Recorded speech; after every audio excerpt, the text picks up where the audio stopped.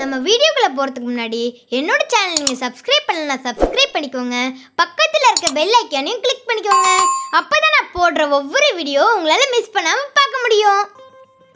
Hello friends welcome to my channel நம்ம இன்னைக்கு என்ன பார்க்க போகிறோம்னா திருக்குறள்.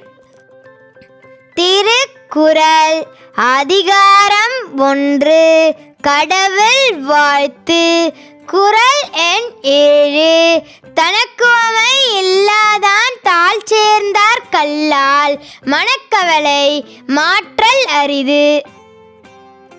குறள் விளக்கம். தனக்கு இணையில்லாத கடவுளின் திருவடிகளைச் சேர்ந்தவருக்கே அன்றி மற்றவர்களுக்கு மனக்கவலை போக்குவது கடினம்.